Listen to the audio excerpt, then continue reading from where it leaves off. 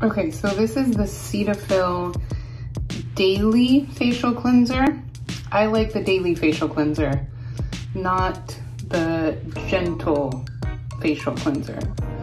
This one is more like a soap. The other one is the one that doesn't really lather.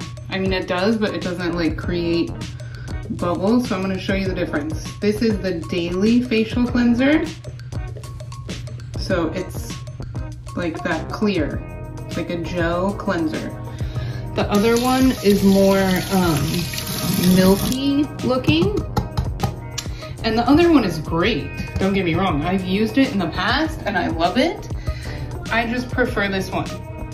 I have super sensitive skin, super acne prone skin. I've gone from directly from, you know, acne to wrinkles with no breaks in between. Um, and this is like the holy grail of facial cleansers for me.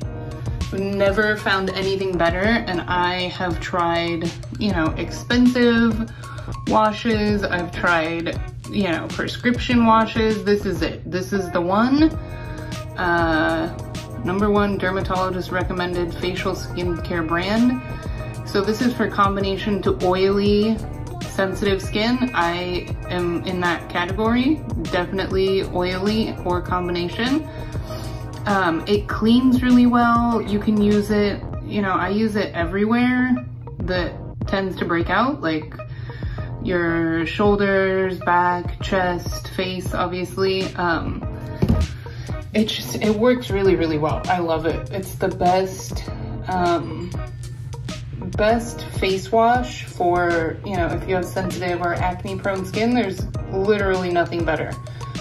Uh, it doesn't irritate, it doesn't dry out, it doesn't um, burn, it doesn't, it doesn't do any of that. It, it's amazing. So I would highly recommend 10 out of 10. Uh, definitely get this if you have any of those above issues.